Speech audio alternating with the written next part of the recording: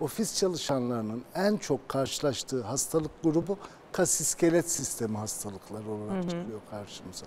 Bunun da kökeninde aslında uygun olmayan çalışma duruşları, tekrarlayan hareketler, işte termal konfor şartları gibi ergonomiye dayanan, ergonomik kökenlere dayanan risk faktörlerinin sonuçları olarak karşılaştığımız durumlar oluyor. Ama diğer sektörlerde işte elle taşıma, ağır yük kaldırma yani bedensel faaliyetin daha ağırlıklı olduğu, yükle fiziksel kapasite arasında bir dengesizliğin olduğu durumlarda gene kas iskelet sistemi hastalıklarını görüyoruz. Ama toz ya da tozlu ortamlarda akciğerleri etkileyen ya da kimse kimyasalların çok yoğun kullanıldığı iş yerlerinde akciğerleri etkileyen diğer sistemleri de etkileyen meslek hastalıklarını da görüyoruz elbette.